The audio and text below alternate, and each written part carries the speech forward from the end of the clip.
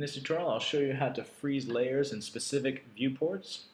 Um, you'll notice here that I have a alignment along a set of contours. When I zoom out you can see this alignment continues on. It's over a specific set of contours. Now if I go into my uh, layer manager here you can see again the light bulb shows that this layer is on or off. Now I can freeze or thaw all viewports so in the specific, in all the viewports, I can freeze that. Again, a viewport is in the layout, specific layout, how that is um, specific area that I see the, the model through a viewport. Now, if I look here, I can see that uh, some of the contours are on ESO1, and then these other contours are on ESO2. That's the layer that I'm showing you what they're on.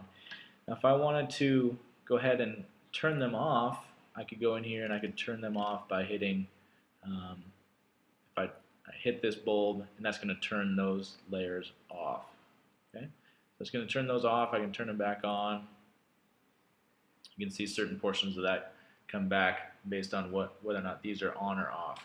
Now I can also use this, not the light bulb, but the, the sunshine, which is a free a freezer thaw in all viewports. So if I if I click this, this is going to uh, freeze it in the model space as, as, well as in all the layout views, every every um, option here of the viewport. So again, that viewport here, I'm going to un unfreeze this. If I go to my layout view, under layout view, again, if I click on the outside here, I'm on the basically the paper, but the if I double click inside here, which we call the viewport, this is a viewport into model space, and now if I'm inside that, again, make sure to click this here.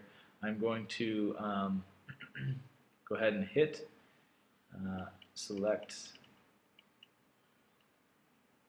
ESO2 and instead of this one which does it for all viewports I'm going to select this one which is just for the current viewport.